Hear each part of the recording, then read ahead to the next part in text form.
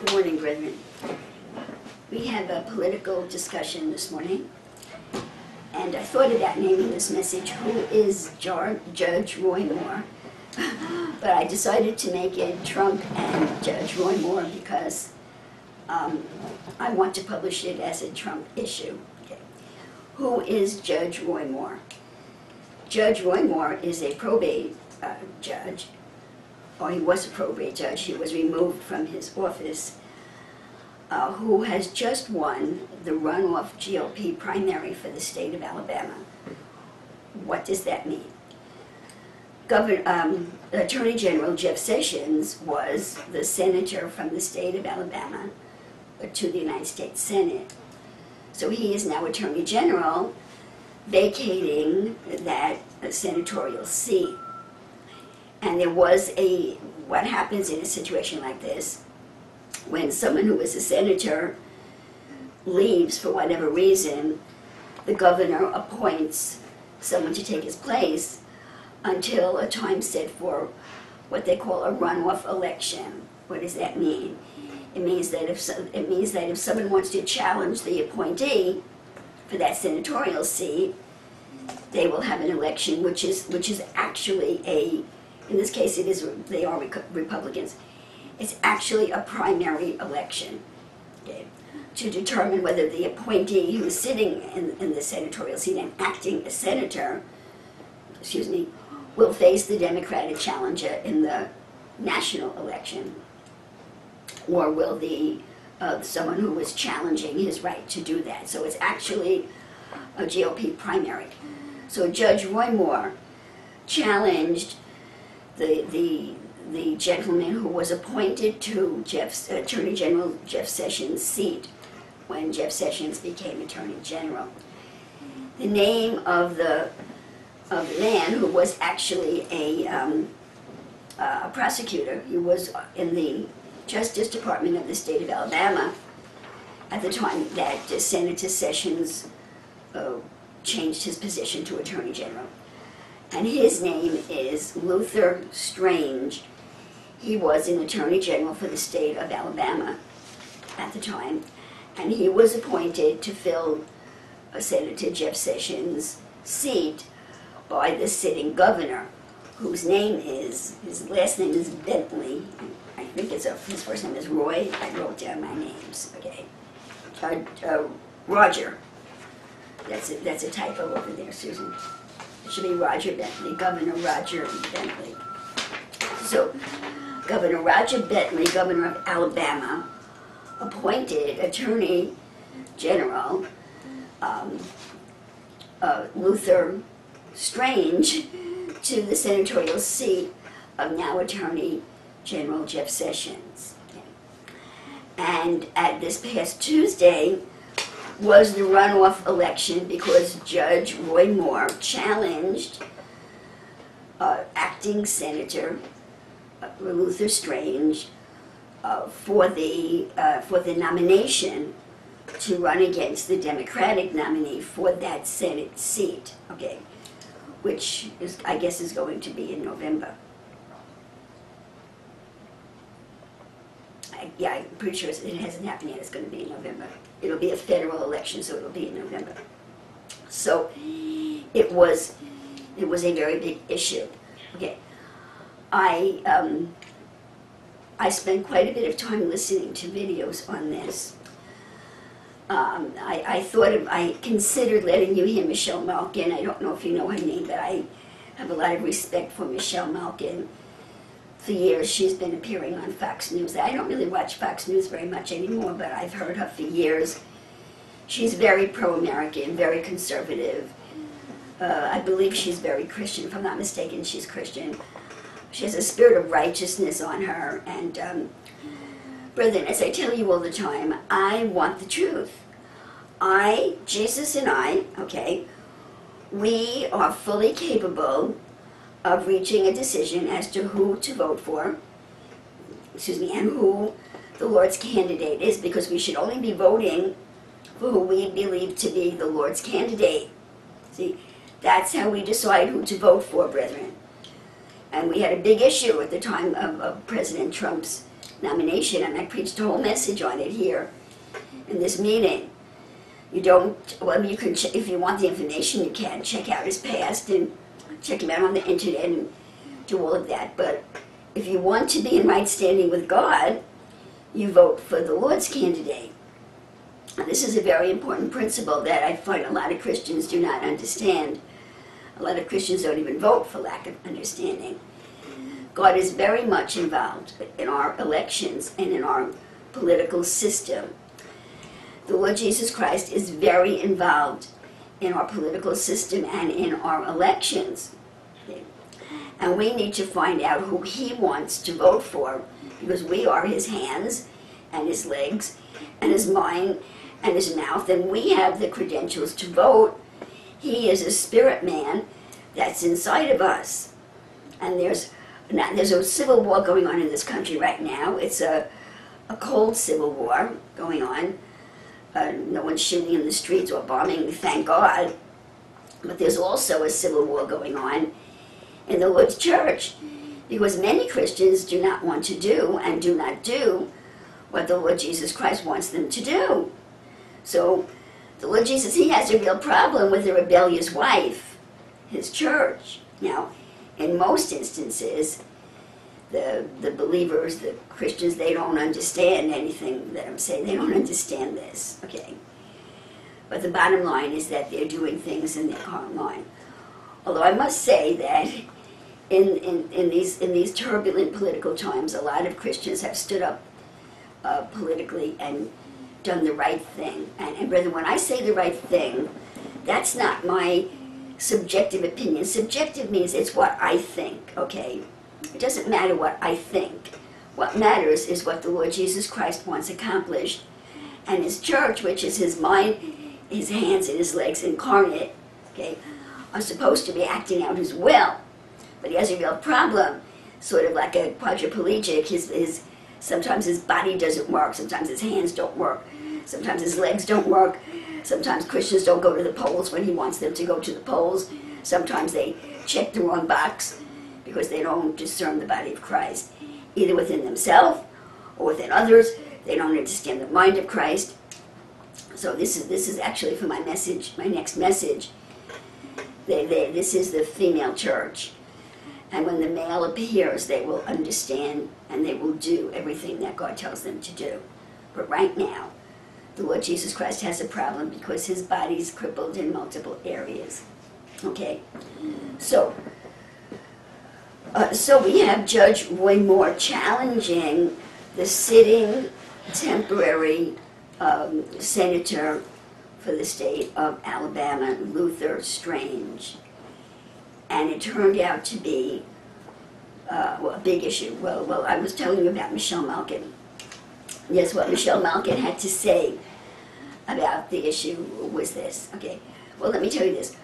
As far as I know, every every conservative speaker, you know, talk show host, writer, as far as I know, there was not one conservative writer or talk show host that that was on the side that was that was voting for. Well, you, you have to be in Alabama to vote.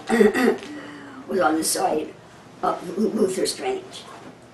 They're all on the side of Judge Roy Moore, with one exception. The President of the United States, I should say two exceptions. The President of the United States and the Assistant President of the United States, the Vice President of the United States. Okay. Pence. They were they were backing uh, Luther Strange, and it turned out to be a major major political issue that I think has significant spiritual consequences. I'm going to try to lay this out for you.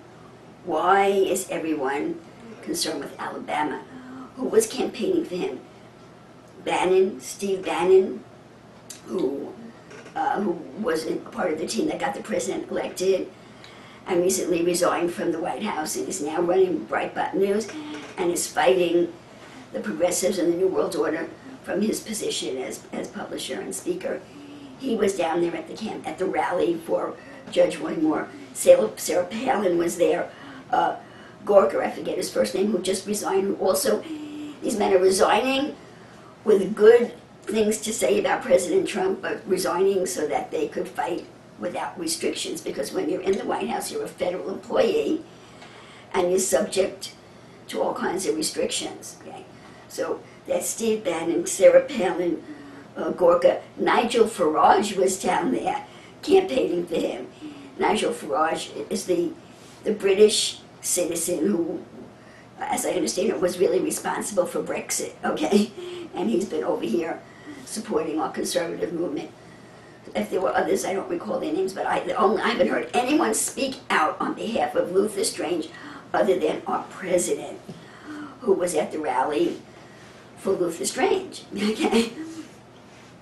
So the left is going crazy seeing this as a, um, as a break in the, in the president's backing, but I don't think so. But anyway, uh, what, what do all the, a- and uh, Laura Ingraham, who I have a lot of respect for, and I hear she now has her own show on Fox News.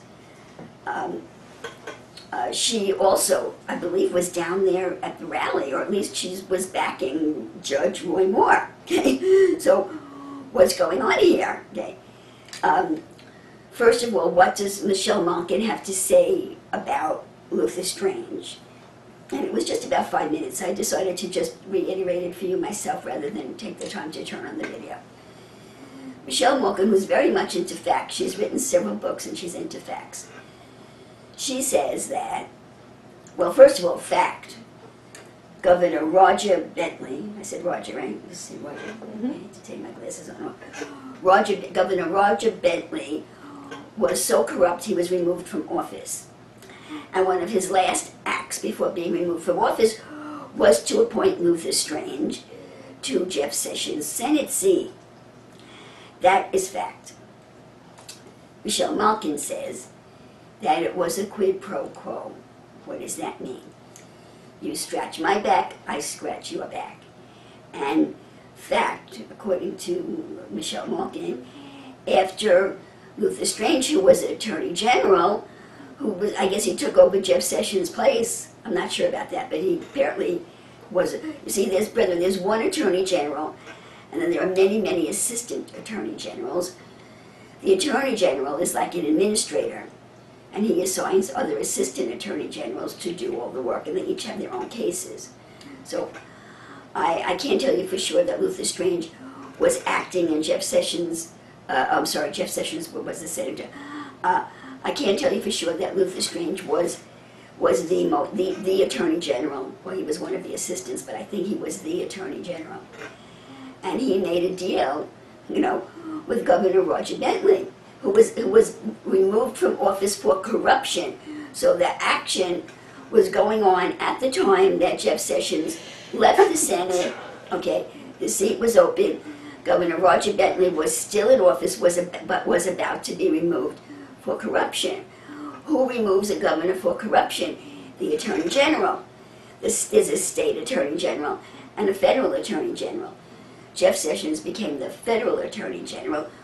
Luther Moore was the Alabama State Attorney General who was prosecuting Governor Roger Bentley. So Governor Roger Bentley said to Attorney General Luther Strange, if you stop, you know, pr- prosecuting me, I will appoint you to Jeff Sessions' Senate seat. That is not a fact, but that's what it looks like because uh, Governor Roger Bentley was and has been since removed from office for corruption. Luther Strange was prosecuting him, okay, and Luther Strange stopped prosecuting him and went to the Senate. So draw your own conclusion. that it looks like a quid pro quo. So all of the conservatives are against him. In addition, they say that he is a lobbyist, he is an establishment man, he is in, um, this is what they say, he's in uh, Mitch McConnell's pocket, Mitch McConnell has got to go. This man has got to go. He's really bad news. I think his approval rating is 15% or something like that. And yet his state keeps reelecting him. Maybe things will change now. So, uh, and um, also, uh, I'm, this is what I've learned from my investigation, okay, that from other people, okay. I haven't actually gone into the senatorial records, but this is what I've read. and, uh, well, let me just refresh you about this, rec- it's called the reconciliation issue in the Senate, okay? The Senate makes its own rules, okay? And it is, there is a Senate rule that says to pass legislation or certain kinds of legislation, you need a, you need sixty votes. Now, there are only fifty-two senators, um, there are only fifty-two Republican senators. So if that rule stands that you need sixty votes to pass legislation, that means you have to get, um, you have to get Democratic senators to agree with you, with you, with, with the Republican platform, but you can't pass Republican legislation. So, um, I didn't really anticipate speaking about the reconciliation rule, so I may not, I'm- I don't have all the information for you. Um, I just know that the reconciliation means that if you use the reconciliation rule, you don't need the sixty votes, you just need fifty-two. Okay? And somehow that's a Senate rule. That means the Senate made it and the Senate could change it. And Mitch McConnell in this instance is the Senate. Okay? So there's been a big issue, and I, I'm sorry I don't have all the information as to what the benefits are. I think, I think if you, if you, if you don't use reconciliation, if you need the sixty votes, then there's, then they can filibuster and they can all get up and talk, but I'm sorry, I'm not prepared to talk more about reconciliation. So we're told that, obviously it's in the benefit of the Demo, of the Republicans right now to use reconciliation, which means you only need fifty-two votes. Okay, I think it's fifty-two votes. Please forgive me if I've got, if this, I really don't, didn't intend to talk about it. If I have any of the details wrong, please forgive me. I think it's fifty-two votes. So uh, Luther Strange was going to vote, and I, I'm sorry, I don't know whether the reconciliation means you need the sixty votes or you can use the fifty-two, okay? But Luther Strange was going to vote that the six, the sixty rule should remain in effect. Why would a Republican vote that the sixty that you need 60 votes to pass legislation when the Republicans only have 52. Why would he vote that way? Why would he vote for the 60? Did I make myself clear? What I'm talking about? Okay. Now, the issue is this, brethren, that there is no more Republican or, or Democrat. See? And there's no more conservative or liberal. Either you're New World Order or you're a patriot. Either you're New World Order or you're Americana. Either you're a New World Order or you're for the, for the nation state system of the way the world operates. And the New World Order is run by the European Union, which, uh, which, and the heads of the European Union are not, are not elected. And they have a constitution, the European Union has a constitution that severely restricts freedom, uh, uh, freedom for the average person. See? So either for the New World Order, where it's run by uh, a group of unelected Europeans that have no regard for America. I could say they hate America, but let's say they have no regard for America, as opposed to a world system where every country is its own nation with its own leaders, and every nation is sovereign. So what's happened over these last years is that unscrupulous and evil men, some of them which have been president of the United States, have sold the United States to the New World Order, and they've become very, very wealthy. And we now have in this country at this time what is called crony capitalism. We still have capitalism, but it's called crony capitalism. What does that mean? It means that they're still buying and selling, but there's a lot, and you can have your own business, but it's a, a lot of control so that the money is all, is, is basically con- condensed into a handful of people that are now multi-billionaires, and they're actually trillionaires. I don't know if there are any American trillionaires, but I know that the Rothschilds are trillionaires. So we have crony capitalism here, where the government is in bed with the private sector, and instead of the government being a watchdog for the private sector, they're in bed with them, and all of the, the, the, the men, mostly men, but there are some women, that are involved in it have become very, very wealthy at the expense of the American people. What is that? What do you mean, the expense of the American people? They've given our economy over to the to the EU and largely to China. They sold us to China. That's where all the jobs went. All the jobs went south. That's why we have so many people at work and our economy is so poor. You know, our leaders, Bill Clinton, George Bush, George H. Bush, okay, they sold us. They sold the American people. But the average person doesn't know what's going on. The average person doesn't know what's going on today, except they're waking up and realizing that something is wrong. And, of course, Obama, how could I leave Obama out? I remember right after Obama was elected, I saw on TV a black woman who was so excited that Obama was elected, and it was in a town hall meeting. And she said to him, President Obama, when are the jobs coming back? And he just, I don't know what he said to her. No jobs coming back under Obama. They sold us. They sold us. And they put many people on welfare, slaves of the, of the system, so that a handful of people could become very rich, as opposed to normal capitalism where the mid, there's a big middle class that gets a chance to have a, a home and a couple of cars and educate your kids and everything that we were experiencing in this country. They sold us. See? But that's not this message. So anyway, this is the issue. Okay? Luther Strange, according to what I understand, lobbyist and, and President Trump promised to clean the swamp up. He made it illegal for you to lobby uh, while you were in the uh, government in the government or for five years after you left the government president trump made that illegal. Okay but this man has been a lobbyist. That means everybody's in everybody's pockets. Everybody's scratching everybody else's back. Everybody's getting rich and they're not holding up their oath of office. They're supposed to be for the country but they're not. They're progressive and they're actually yeah, as far as I'm concerned, actually treasonous and agents of a foreign government, which is the United um, Union, the European Union. So the issue in every election, the issue in politics today, is New World Order against nationalism. That's the big war that's going on.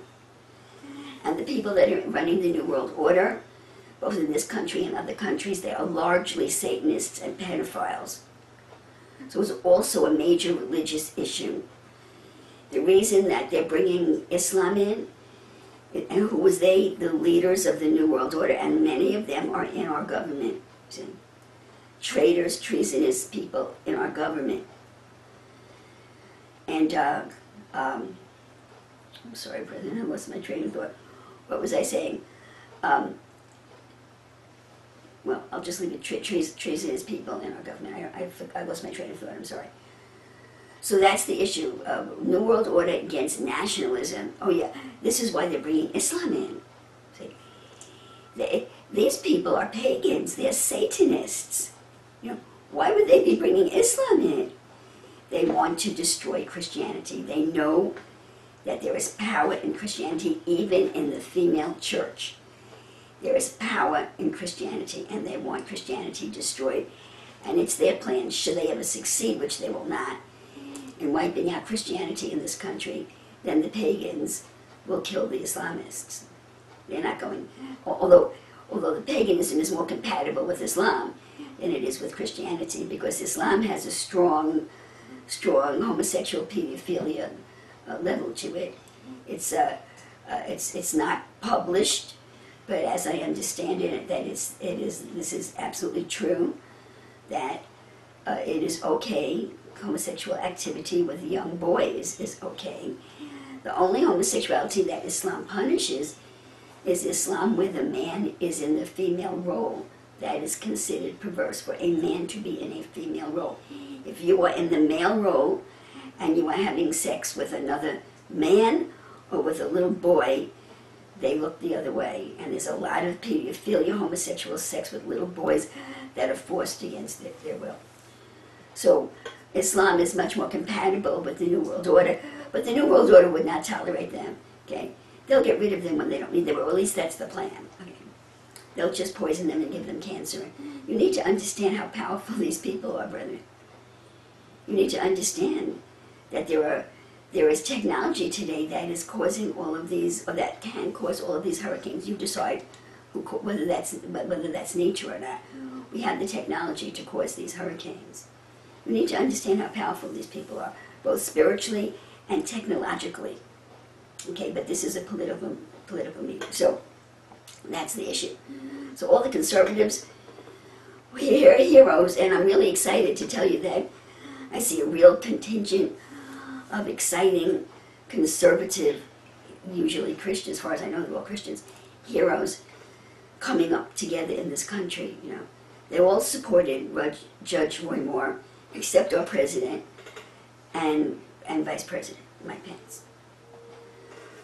So what was this all about? I, I saw President Trump's speech on behalf of Luther Strange. Luther Strange is strange. I, I heard Luther, I, I heard the debate between Luther Strange and Judge Roy Moore, and it was so dull. I wouldn't waste your time listening to it. Luther Strange is strange. You know, he has. Uh, I actually uh, read something that President Trump had said. Well, he might be making a mistake because Luther Strange is low energy. Well, low energy is is, is putting it mildly. You know. So, I, but he was very low energy, and Judge Roy Moore was very charismatic. I heard the anointing on him the minute he opened his mouth. But aside from that, I didn't know why all the conservatives were where they were until I heard Michelle Malkin. Um, um, although, although Judge Roy Moore did say that he was a lobbyist, but I didn't know whether to believe it or not because it was the debate. So this is the issue. What happened to President Trump? What happened to President Trump? And, by the way, the runoff was Tuesday. So Judge Roy Moore won. Okay. He won with a very high margin. And Michelle Malkin says that the Alabamans, it's a strong Christian state. 89% call themselves Christian, and 49% are evangelical Christians in Alabama. So they, Michelle Malkin says they know that, that Governor Roger Bentley was corrupt, and they know that that that Luther Strange getting the, the Senate seat was a quid pro quo, and the whole state of Alabama. So what happened to President Trump? Now, listen, brethren, this is this is political and it's spiritual mixed. I'm sort of reluctant to say this because I don't want anyone coming and taking a clip of my words and using it against the president. But you have to hear this, brethren. You have to hear this. I, I open this message by telling you how we are the, the hands and the legs and the and the, the vehicle that is supposed to be doing what our brain, which is Christ Jesus, is telling us to do. And when we don't do what Christ Jesus tells us to do, even if it's in ignorance, it is on the spiritual plane, it is not even perceived as the reality of your behavior and my behavior when I make a wrong choice, okay, and I don't do what the Lord wants me to do. The reality on the spiritual plane is that I have betrayed the Lord Jesus Christ, and that in that instance, I am a Judas. I am Judas in that instance. Now you have to hear this, brethren, excuse me. Okay. That is how it's perceived. That is the reality on the spiritual plane. So what happened to President Trump? This is my, well, first of all, let me tell you this. All of the conservatives that stood up and made a speech at Judge Roy Moore's rally, and Steve Bannon is, is, I really didn't know very much about Steve Bannon. I'm very impressed with the man. I have to tell you, I'm a little concerned because he's a very strong Catholic. And I did hear him mention the Holy Father, so I'm not too happy about that. But he has Christian morals and Christian principles, and he's a very powerful man, and I'm very impressed with him. And uh, well, I don't want to go all over the place. I do have a second message today. I, I heard him taken apart. I heard Steve Bannon taken apart by, um, what's that guy's name? Ben Shapiro. Ben Shapiro. Someone told me about Ben Shapiro. Maybe it was June. I don't know. Someone mentioned. I had never heard of him until a couple of weeks ago. And uh, so I listened to him a couple of times. I didn't I didn't particularly get any, I didn't particularly care for him. You know. He's a conservative Jew and he has a talk show. He talks, you know, he's on the internet. I wasn't particularly impressed with him. And then I heard him take Steve Bannon apart. And uh, I didn't like what I heard. But this is not about Ben Shapiro. I, at the moment, am very impressed with, with Steve Bannon. I, all I want is the truth. If the Lord shows me otherwise, I will change. See, now, this is what I'm trying to tell you. The left, the progressives, they do not understand this. They do not understand righteousness. They do not understand faithfulness to the Lord Jesus Christ, no matter what human being he's appearing through. They don't understand that. And they perceive this movement that elected President Trump as a cultish movement, that they will follow him anywhere blindly and do whatever he says. See, that's what's said about me. If you look, if you find that link on the internet, I hope it's not true. You should not follow me blindly. Should seriously consider what I have to say and pray about it until you get a response from the God that you have a relationship with. So these conservatives, headed up by Steve Bannon, that was at Judge Moore's rally, they all lifted up President Trump. They lifted him up. I heard Steve Bannon say, well, when he backs a candidate, he backs him to the end. Even if something bad comes out about him, he backs him to the end. And I want you to know that I will back President Trump no matter what mistake he makes, the only exception being I, I be, that I am completely convinced that the Lord has left him. So long as the Lord is still with him, I will back him. I, if he does something wrong, I'll say it, but I will back him. I will not leave him. See? And hopefully, that's how you feel about me. That if I ever do something wrong, because I'm just human, that I hope that you feel that way about me. But if I do something wrong, you need to pray about it or talk to me about it. But if the anointing leaves me, run for the hills. So Steve Bannon was saying he's completely committed to President Trump. They love him. They were all saying this. They love him, but they disagreed with him on this political decision. So what happened here is so exciting, brethren. I pray that the Lord anoints me to, to convince you of what I'm talking about. It was just a few weeks ago that I heard St- Dr. Steve Pieczenik on Alex Jones. I really like Dr. Steve Pieczenik. I like to listen to him. I think he's a truthful man.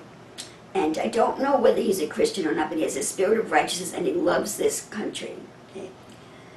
And he seems to have incredible information. And he actually had a, uh, he actually was putting Alex Jones in his place. He actually took down Alex Jones. And what he was telling me, I even mentioned this to you a couple of weeks ago, what Dr. Pieczenik was saying, this sun does not rise and set on Donald Trump. The sun does not rise and set on the President of the United States. He says the sun rises and sets on this nation with our Constitution.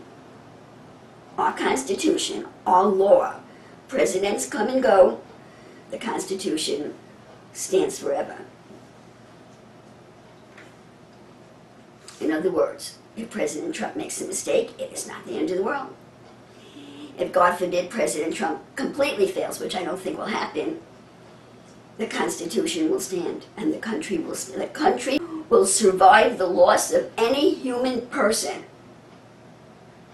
We stand on God and the Constitution. And he really took Alex Jones down. Because there was a bit of idolatry there for President Trump. And I remember during the nomination when the Lord told me to tell you, and I told you all, let's not idolize President Trump. I don't know if you remember that or not, but I remember telling you that. No. Okay. We serve the Lord Jesus Christ, and I hope that you're faithful to the Constitution of this nation, the law. Okay. So that was what Dr. Pieczenik said a few weeks ago, and here it is. Brethren, in my opinion, President Trump made a mistake. And I think he knows he made a mistake. And the other conservative leaders, they stood against his political decision, but they supported him. They said great things about him. They, they, they lifted him up. They said they loved him. They talked about all of the accomplishments he's had so far. But they would not follow him to support Luther Strange, who we're told was in Mitch McConnell's pocket. Now, I wish I had more information, but I don't. But I will tell you this that I understand that this conflict here, it was not about President Trump, it was about Mitch McConnell. Mitch McConnell must lose his power in the Senate. He is a New World Order guy. You know, he's not. He's blocking the president's agenda, and there is a big power play between President Trump and Mitch McConnell.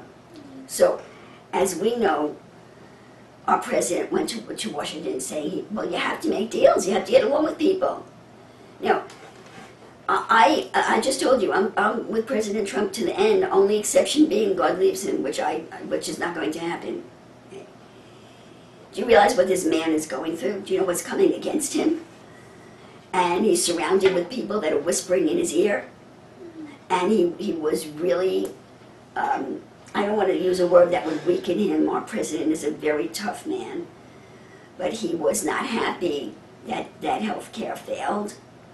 As you know, it was, the left was saying it was a big defeat for him, but there were, you win and you lose. And when, you, when you're in a situation where there's negotiations, you win and you lose. The only thing that matters is the final outcome. But he was not happy at what happened with health care. So he had to make a deal with Mitch McConnell. Now, I don't think he made the right deal. Know, I hope nobody uses this against me. Listen to me. The man's not perfect. He's under all kinds of pressure.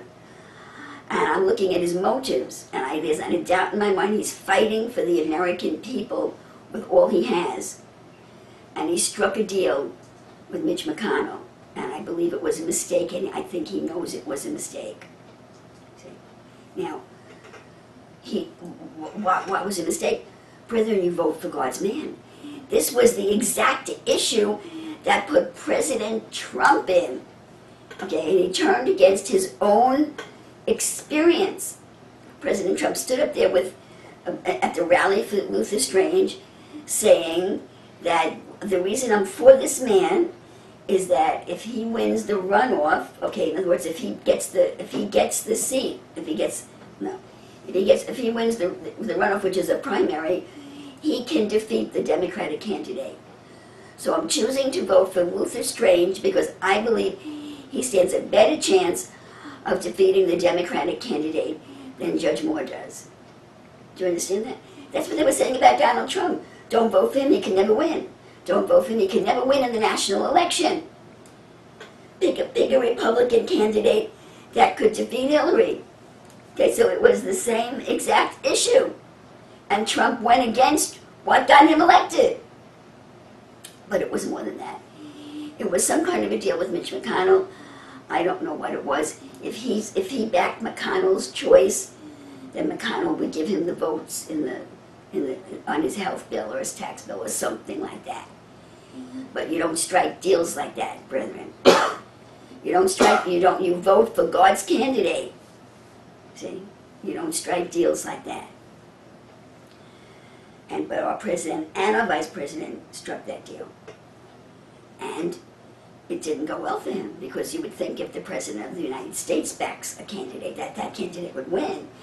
And if that candidate does not win, it doesn't make the president it makes the president look very weak. So it was not it was not in his best interest to do it.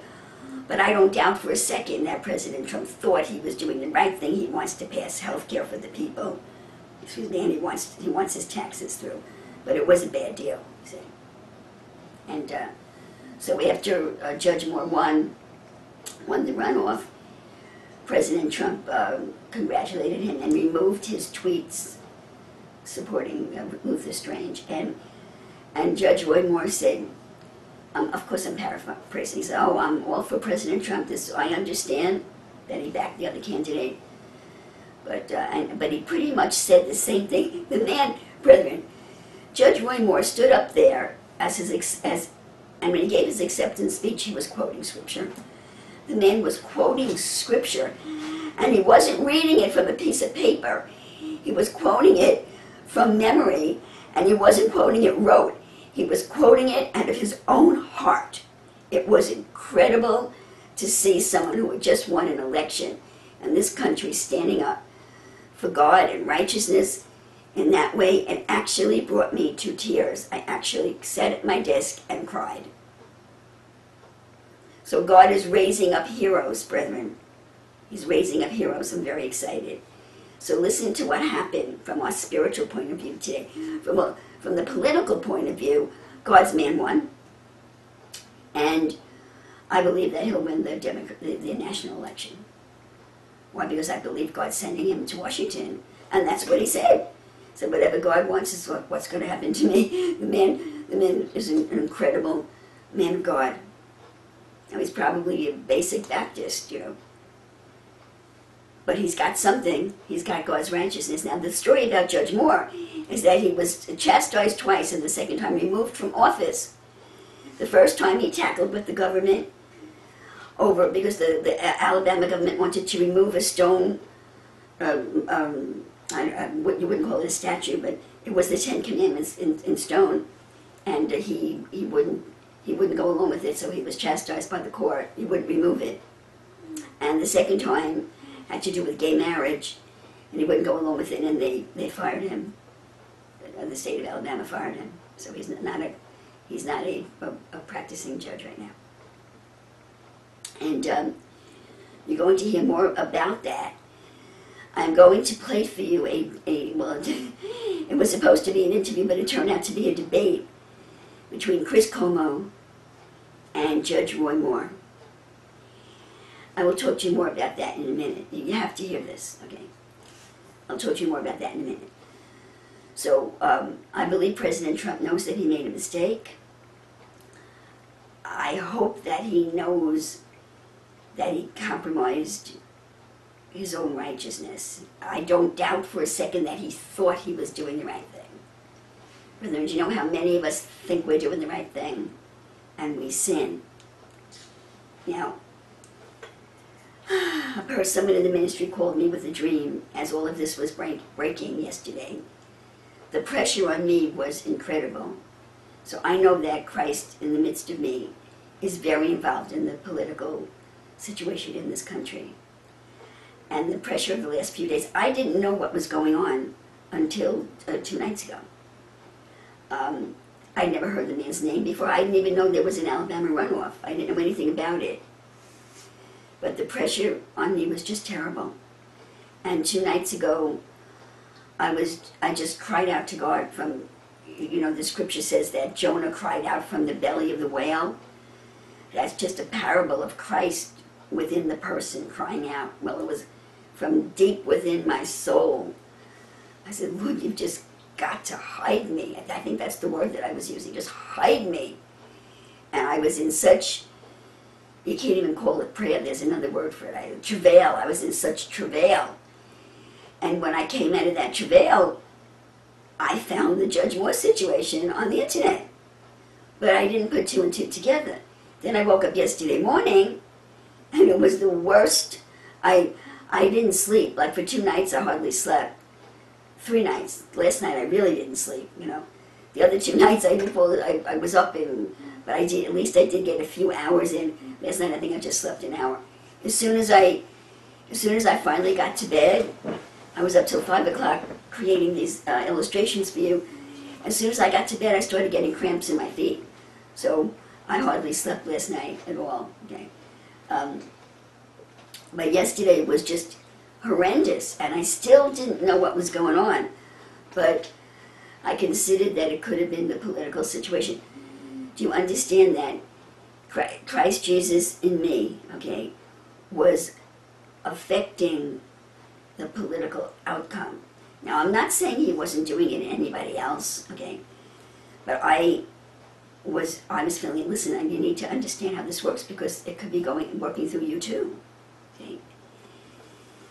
This this literally is the Lord Jesus Christ joining himself to Christ in a person.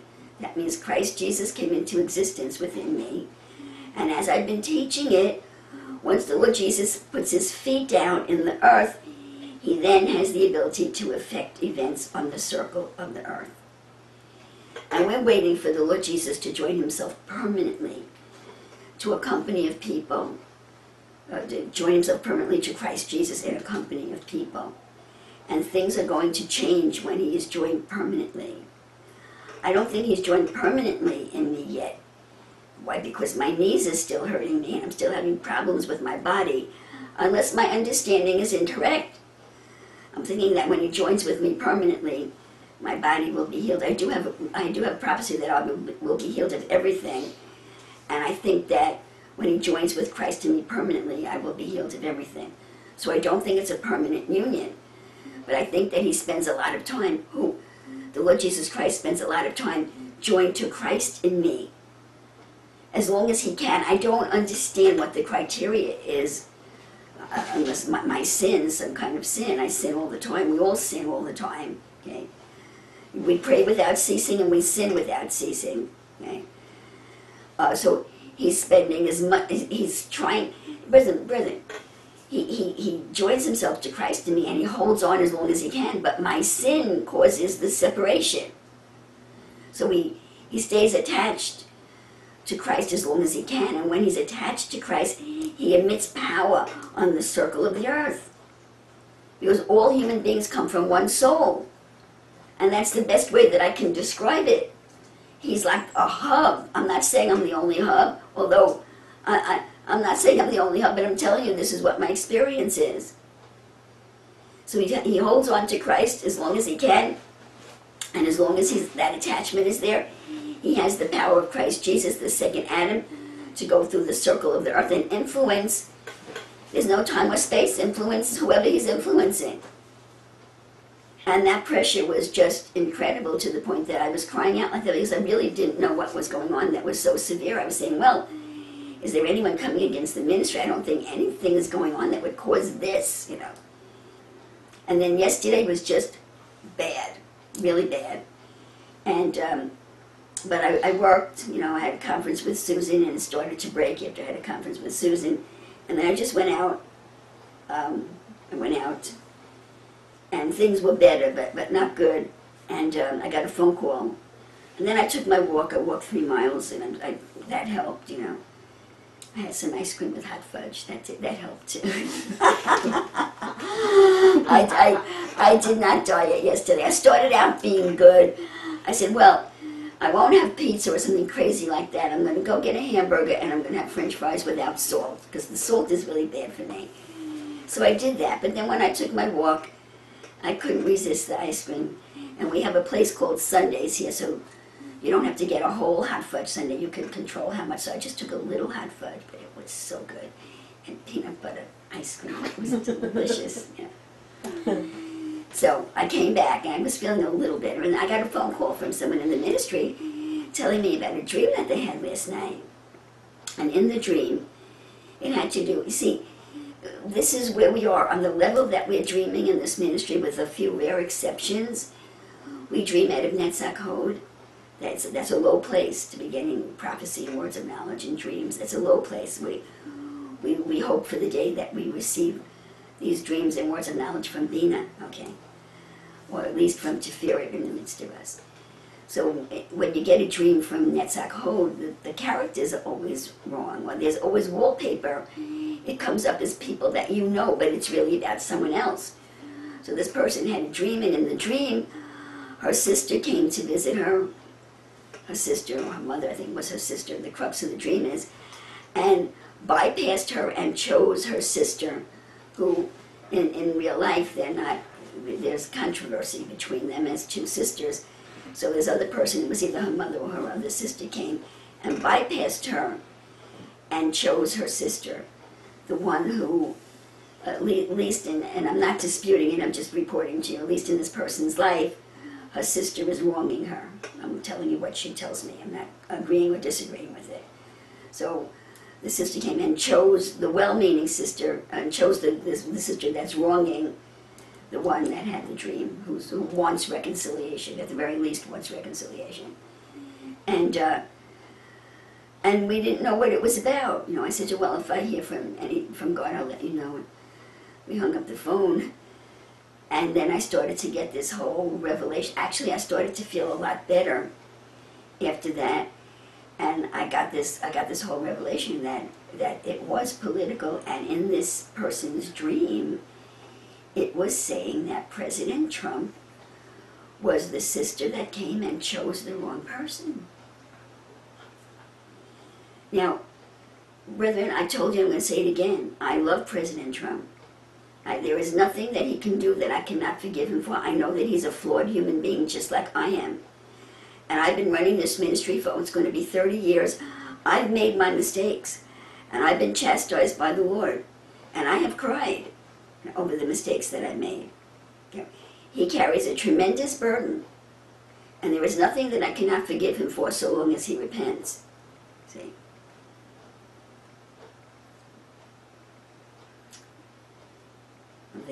We're supposed to forgive people whether they repent or not. But there's nothing that I can forgive, uh, not forgive him for other than uh, turning his back on the Lord Jesus Christ. He did not turn his back on the Lord Jesus Christ. He made a mistake. He's under all this incredible pressure. I cannot even imagine. I know what kind of pressure I'm under. I can't really, I shouldn't really say this little ministry because spiritually this is a very powerful and important ministry. I'm under a lot of pressure. I, I make mistakes. I make silly mistakes all the time from the pressure. He made a mistake. But you need to hear this. In the spirit world, it was a betrayal. In the spirit world, it was, and, this, and the person that had the dream told me before we knew what it meant. She said the, the predominant spirit on the dream was betrayal. You need to understand every time you make a mistake, every time I make a mistake, it is uh, what kind of mistake that I don't do what Jesus would do if he was if he was in control. That my carnal mind overrides what he I am his arms, I am his mouth, I am his mind, I everything I do, I'm supposed to be doing what he wants me to do.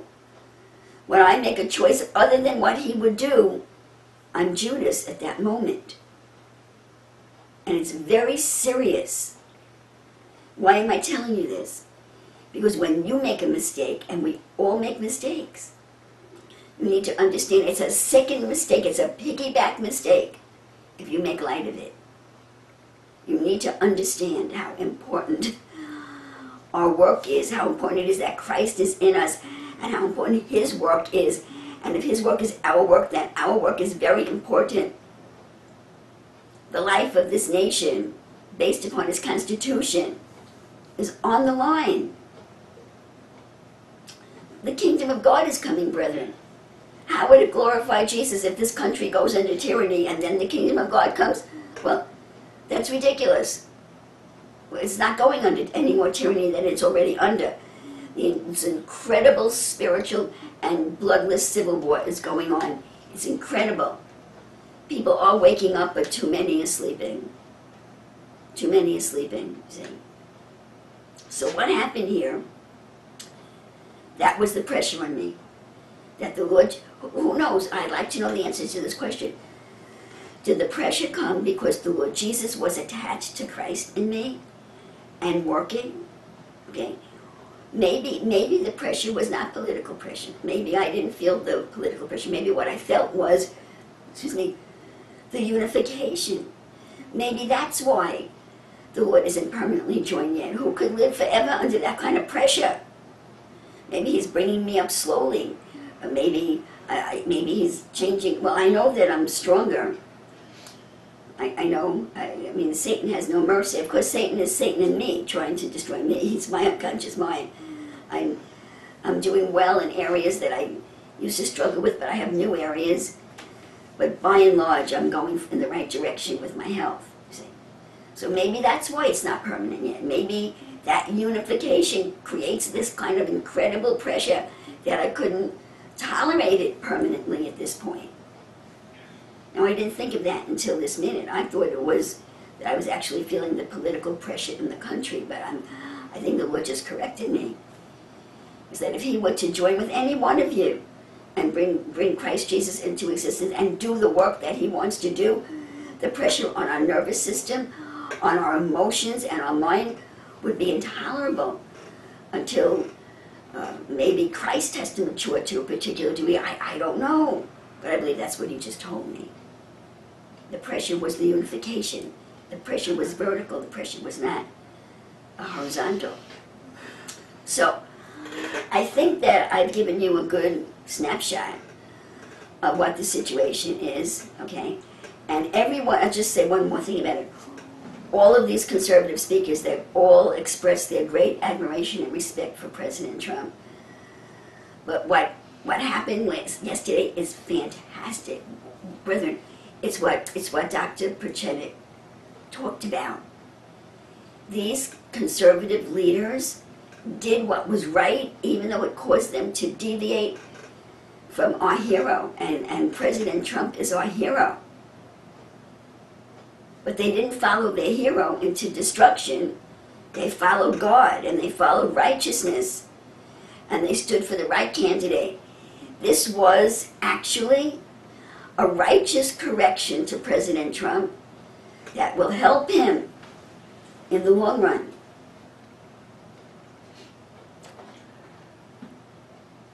I know when this ministry was first raised up, and it was a long time ago, I had a couple of decisions to make. And I asked the brethren here, hoping that they would tell me if they thought I was wrong, but they wouldn't speak up. So I was on my own for years, and I made a couple, a couple of serious mistakes here.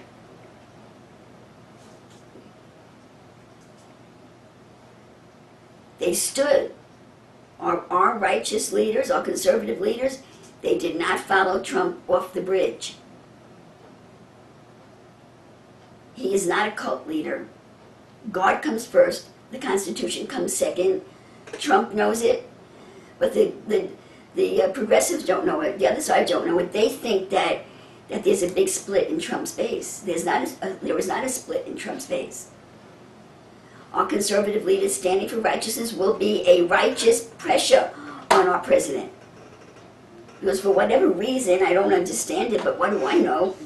He has himself surrounded by liberals in the White House. And from what I'm told, he's allowed them, he's allowed General Kelly to cut him off from people like Alex Jones and, and Sarah Palin and, and Steve Bannon. They can't even get to talk to him. So in a situation like that, the kind of pain that the president felt from this mistake is the only way to reach him. Do you understand what I'm saying, the anchor held? Do you understand that I'm saying the anchor held? Hmm. President Trump is just a man. And he, he's not even, really from what I understand, he's not even a strong Christian. They say, he, someone said he's a baby Christian, he had some kind of born again experience. He's not like we are here. He's not like even people in the female church that have been really serving God for years. He's pretty much a nominal Christian.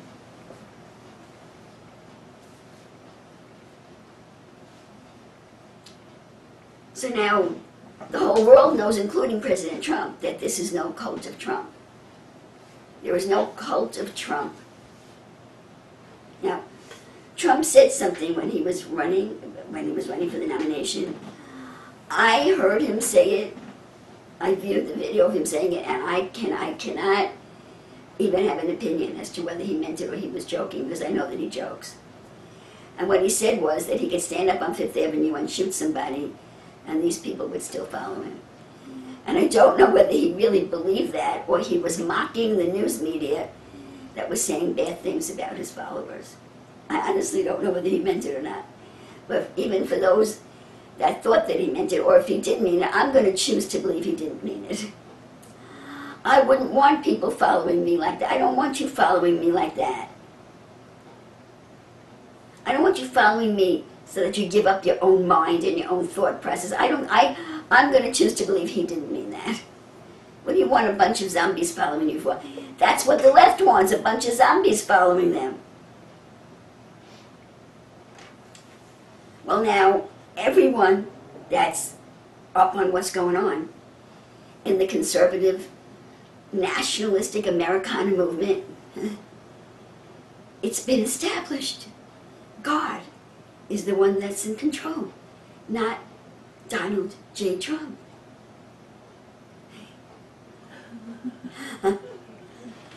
it's written. It's written on the heavenlies.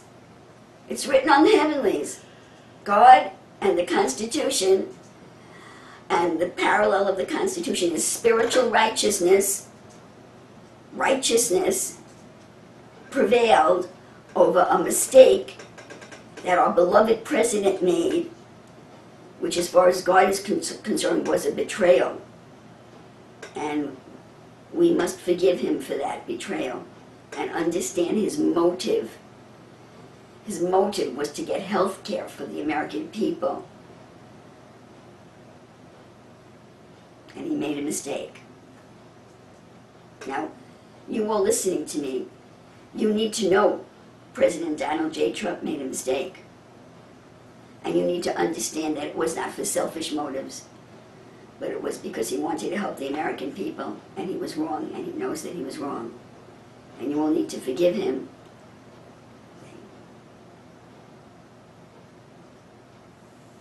But you need to know that he did it. You can't forgive him unless you understand that he did it.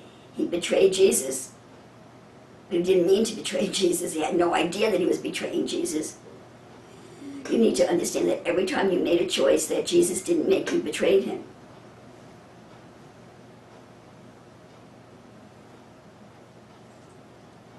So we love President Trump. Today, he is completely and absolutely forgiven. And uh, before I came out here this morning, I started listening to a YouTube video, but I didn't have time to finish listening to it. I, he says that they have the votes for health care,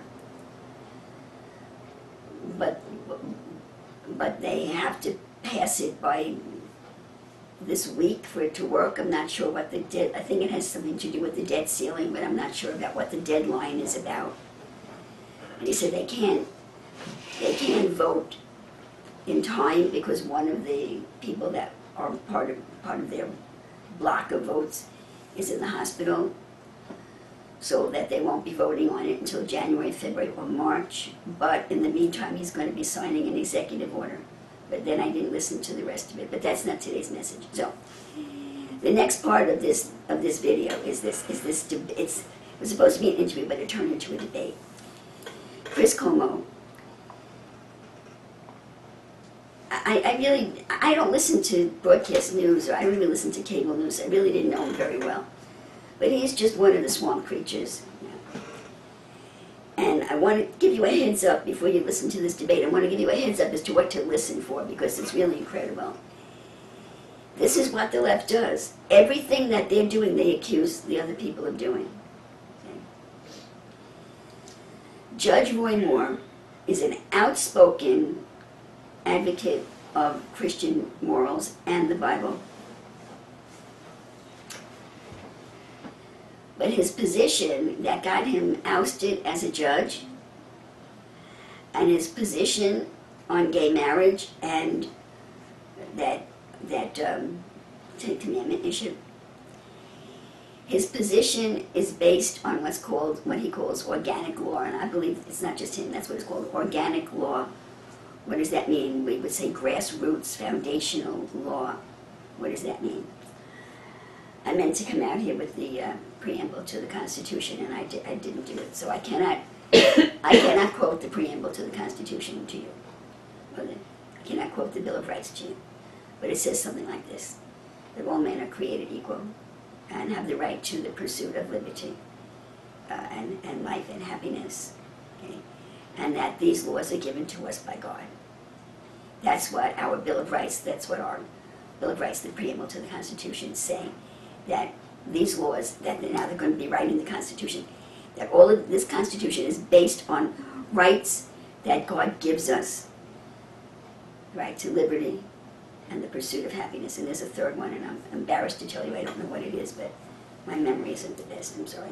Life, liberty, and the pursuit of happiness and that it is God that gives us these rights. That's the foundation of our country and our Constitution. And he uh, he makes an argument. You're going to hear. Just do the best that you can to follow. You're going to have to really pay attention because Chris Cuomo is really attacking him, this terrible man. And um, and Judge Moore will not back down. His argument. Well, let, let me let me make it clearer to you. At the time that this debate took took uh, place, the Alabama legislature passed a law that said gay legal gay marriage is illegal. And Judge Moore was in office at the time. Okay. And uh, uh, so, a but a federal judge said that the Alabama law was illegal and that they had to marry gay people. Judge Moore says, said, or saying, you're going to hear him saying, Lord, please help me to explain this. He's saying that that federal judge, he's saying what that federal judge said is not law. He said the Alabama state legislature passed a law that gay marriage is illegal. He said this federal judge was a woman, apparently. She has an opinion, a legal opinion, that gay marriage is legal, and she overreached, over overshadowed the um, the state law. So we're talking about states' rights against federal rights here. He says what the what, what one federal judge says is not law. So the case is going to the United States Supreme Court. When the United States Supreme Court, should the United States Supreme Court, which they did, okay, because this is an old debate, should the United States Supreme Court find that gay marriage is legal, okay, then it will be law. But at this point, it's not law. It's one federal judge's opinion. And then he quotes some some state uh, some state law or regulation that says he doesn't have to obey it. He is obeying the, the law of the legis- the law of the state of Alabama, and that one federal judge's opinion has no effect on him, and he would not perform gay marriage. And it makes sense. I'm no lawyer, but it makes sense to me. He said, should it become law by, from, by the, the federal Supreme Court? That's another issue. He said, this is this one judge's opinion. So he makes a very interesting case. And Chris Cuomo was just obnoxious. And when he couldn't budge this man, he didn't budge. He's, I think he's 70 years old. He's 69 or 70 years old. I had the highest respect for him, Judge uh, Judge Roy Moore. The man didn't budge. The man didn't budge.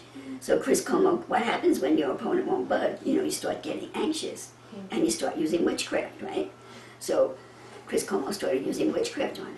He said, whatever his position was, he said, and you know it, Judge. What do you mean? Don't tell me what I know. He's telling, Judge Moore is telling you the exact opposite. Why are you telling him and you know it, Judge? That's witchcraft. That is witchcraft. You, and you know it, that's witchcraft, you see. And he was trying, Chris Cuomo is trying to force Judge Moore to admit that his opposition is strictly because he is a, a Christian, okay? And I, I don't think that I heard this in the interview, but I read it somewhere. It was it just really what is the right word? Shocked me or offended me. I don't know what the word was. I think it was an article from the Washington Post that was talking about something like this and saying, and Judge Moore uh, attributes his beliefs to a Christian God. Can you hear that? A, he attributes his beliefs to a Christian God. What do you mean, a Christian God? Can you hear that? A Christian God? The mind that wrote that, Conference recording stopped. the mind that said that is a pagan mind that believes in many gods. A Christian God? That's from taking Jehovah up here to down here. In a, in a subliminal cut, whoever isn't defensed in their mind, whoever doesn't know God the way we do, it just goes into their subconscious mind. A Christian God? So anyway, Chris Cuomo is attacking Judge Moore, trying to force him to admit that his whole objection is Christian based and not based in the law. And Judge Moore insisted no, um, and he has a legitimate legal argument.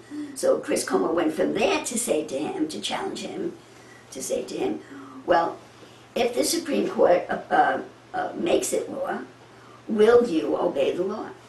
You know? So I, I'm not really sure whether he was issuing licenses or marrying them. I'm not sure exactly what, what his what his function was, but it had something to do with gay marriage. And Chris Cuomo said, "Well, if the Supreme Court makes it law, will you obey the law?" And Judge Moore's response was this: Remember the Pharisees asked Jesus a question, and uh, can't remember what the question was, but he said to them, he, Jesus said to the Pharisees, "If you answer my question, I'll answer your question." He said, "Tell me, was uh, was John the Baptist was he sent from God or not?" And the Scripture says, and the Pharisees conferred amongst themselves and said, "Well, the people believe that John was a prophet, so they they, they were." afraid to say that they don't believe that God sent him, you know. So they wouldn't answer the question. The Pharisees wouldn't answer the question. So Jesus said, Well, Jesus said, Well, if you don't answer my question, I won't answer yours. so that's what Judge Moore did. He gave him a question back, you see. Gave him a question back. He said to him, If you were living, I think, 100 years ago, I may have the number wrong, when the Dred Scott decision was made, now, there's a decision that was made in the Supreme Court called the Dred Scott decision, which said that black people were property, and therefore uh, owning slaves was legal. So Judge Moore said to Chris Cuomo, well, if you were a government official in that day, would you enforce that law? Would you, would you make your, your legal decisions based upon a belief that human slavery, in particular black people, had a right, that, the owner had a right to enslave them and that they belonged to the owner. So he wouldn't, Chris Coleman wouldn't answer the question. So neither would Judge Moore answer the question. so, but I want you to, to, to listen to this incredible debate. I want you to look at the character of the two men. Um, challenge you to recognize the witchcraft on Chris Cuomo, and to understand that he is accusing Judge Moore of exactly what he's doing. Judge Moore is saying this federal judge, it's not law, it's just at this point in the process, it's just her opinion. Therefore, I don't have to obey it. And Chris Cuomo is saying to Judge Moore, you don't have any legal ground to be resisting this, it's just your opinion. But in my opinion, I think Judge Moore has a, in my lay opinion, has a very interesting legal argument for refusing to obey that law at this point, that it was the judge's opinion. So they're both accusing each other of doing, of, of having a motive of being a personal opinion. and, so I don't think I made it clear that Chris Cuomo was saying God does not, he clearly said, he said the words, God does not give us our, our rights. Rights come from man. He completely denied that our rights come from God. And Judge Moore said, it's right there in the Bill of Rights. Yeah. Our, our, our life, liberty, and the pursuit of happiness, those rights come from God. So Chris, Chris Cuomo was saying, no, man either gives it to you or takes it away. And times have changed. And, uh, and also Judge Moore was saying, for centuries, the definition of marriage has, oh yeah, this is an important point. For centuries, the definition of marriage is one man and one woman. It's never been otherwise in the history of man, uh, in, in history. And marriage, the issue of marriage, is not raised in the Constitution. Now, the Constitution says that if there's a particular issue that's not specifically dealt with in the Constitution, then it becomes a states' rights issue. So since marriage is not named in the Constitution, then it should be up to each state to define, to, to pass its own law regarding gay marriage. And the federal government has been overreaching states' rights for years. So the federal government is now saying, and it's now law of the land, that a, a state, a state cannot pass a law on gay marriage, against gay marriage, because the federal law says that it's okay, so the states now have to honor it.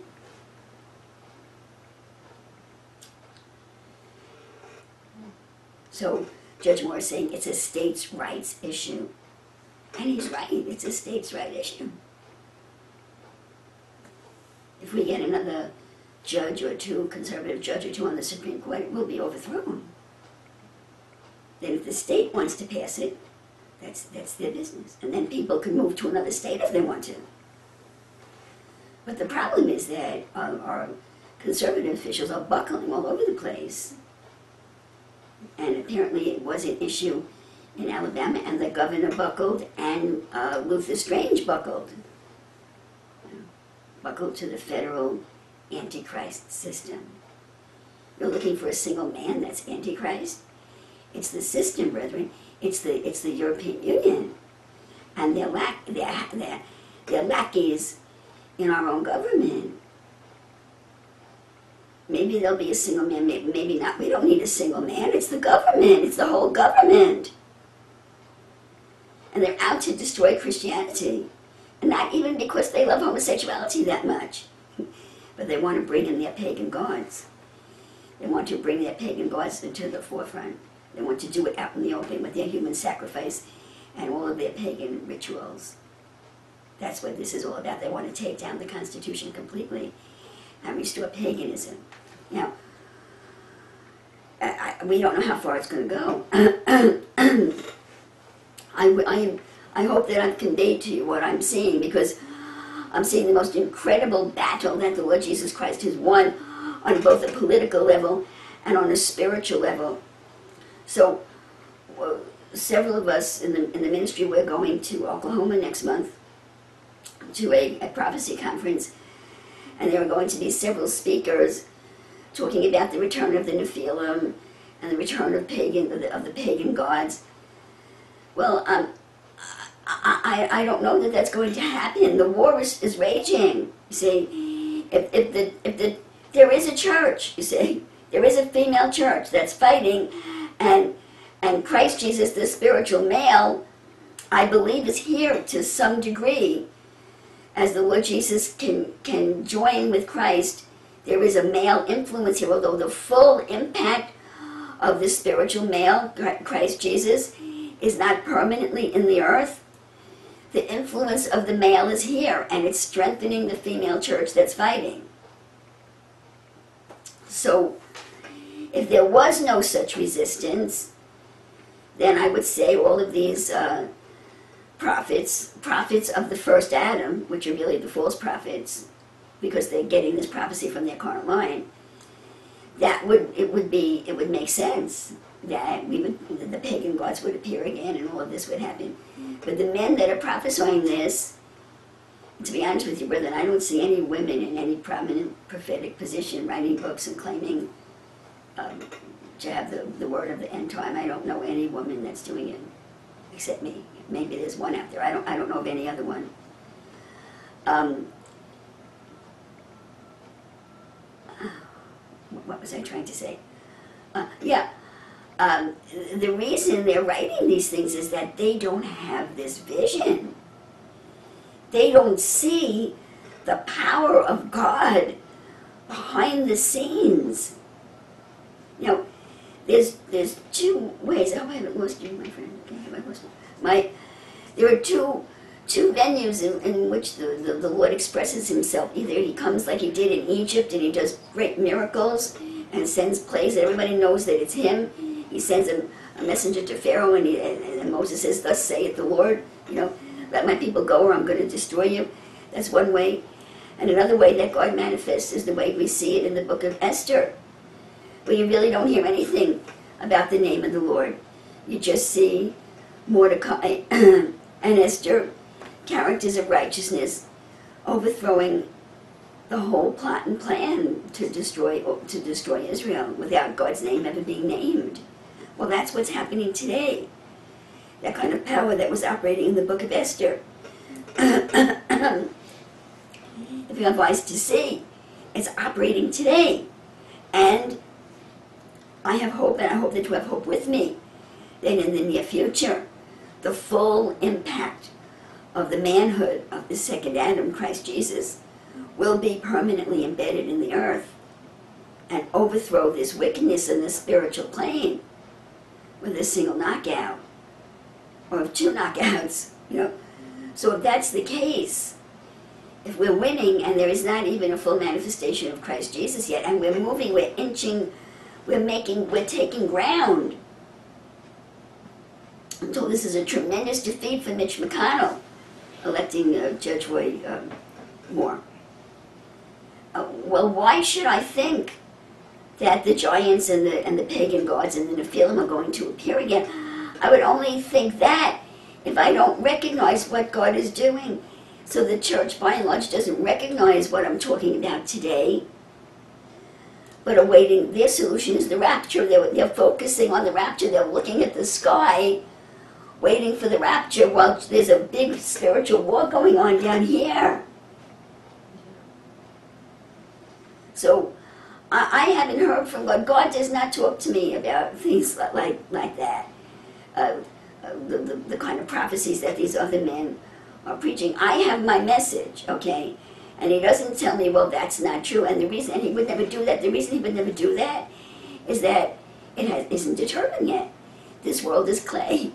This world is not, this world is formed. The only thing that's solid in this world is what happened yesterday. The only thing that's solid is what happened 60 seconds ago. Everything's continuously changing. That's why Jesus said, No one knows the day or the hour, only my Father in heaven, because it's not set. It's not set in stone. What's going to happen is not set in stone. But if I look at the momentum, I see spiritual movement from the kingdom of God. And I see them picking up momentum. So why would I believe that things would deteriorate to the, to the degree that the pagan gods would actually appear? Now, maybe they will, you know. But I'm telling you, that's the reason Jesus won't answer me. Because it's not determined yet. Do you know what I'm talking about? Do you know what I'm talking about? Mm-hmm. Okay, so we're going to play, play this debate, which should have been an interview, but it was a debate. We're going to witness Chris Cuomo, in, a, in my opinion, in a spirit of wickedness, try to force uh, Judge Moore to admit that he had personal motives for for resisting the law of the land, and Judge Moore saying it's not the law of the land, okay? And Judge Moore refusing to answer the question as to whether or not he would obey the law if it were the law of the land, unless Chris Cuomo answered the question, would you obey the law when it said that, that black men could be the property of white men? Would you, would you obey the law? Would you do that? Would you, would you rule against some black slave petitioning the court for his freedom? And would you bring down a decision saying you are still a slave because you're that man's property? So neither one answered the question. okay. Are there any questions or would anyone like to comment before I start the video for you? I thought we'd have a, a double session today, but we may not get there. It's one o'clock. I mean, we'll see. I don't think that the, I don't think the debate's more than half an hour, but it could be an hour. We'll find out. Looks this one. Yes, no questions or comments, Jim? Okay, so we're gonna stop this file. Did you wanna say something? Yes, yes, just a minute. I don't know if this is, I'm sorry. Well, tell me what it is and I'll Well, decide. well, whether it's right or wrong, I'm telling you. I had a dream a week ago, and I dreamt that, well, the main part of it was, it was all, it's something to do with all the, all the, all the,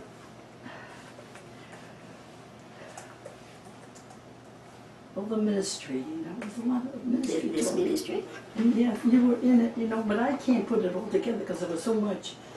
But when it came out, it was, I was going up and I was attached to someone. I was attached, I was going up. I said, oh my God. You know, and I had mentioned it to you, but I don't know if we were You did, I think you did mention it to me. Today, I said, I'm going to wear white today. I don't know who why white. And I get here and I see you wearing white. Yeah, And then he gave me, said, this morning, he gave me, Sheila, I was attached to Sheila, and she was going up, and she had attachment of Christ. And mm-hmm. Christ was attached to her, yes. and I was attached to, to you going up. It wasn't Christ, it was Christ in you. It's Christ in me that's Yes, going up and we're that's going up, and I was attached to her. I said, oh my God, I was crying today. Well, I, I'm- I'm so hoping I'm for so you too. trying, it's one, just when you're saying all this stuff. So hoping I for know you you too. saw it, I said, Yes. Lord, I don't know whether I should say this or not, you know? That's funny because even last night I said I think I'll wear white tomorrow, and I don't wear white very often. So Ah. It was, it was Sheila, it, it was the saints, it's Mm. the saints. See, you see, there really is a rapture, but these people they don't understand what it is. Yes. I wonder if that means, you know, you know, because September 23rd came and went, and I spoke to the Lord yesterday, and I said, well, I knew that whatever happened would be imperce- impercep- imperceivable, and I wonder what happened. So maybe we're ascending. It was the twenty-fifth of, of, of September. It was a Monday, or Sunday, no, Sunday, Monday. I can't remember what day it was, but I thought it was, mm-hmm. Mo- no, had to be the day that you spoke. Maybe it was Sunday. I think it, yeah. The whole church. There is a church. See, it's mostly female right now, but there are people in their in their female side that are very faithful to the Lord, and the church is rising. The church is rising in power. That's what it means. Mm-hmm. The church is rising in power. Very exciting. But I don't know why we're wearing white, but that's it. That's it. That's interesting. Well, so I would really like to understand that, one if you would explain it to me.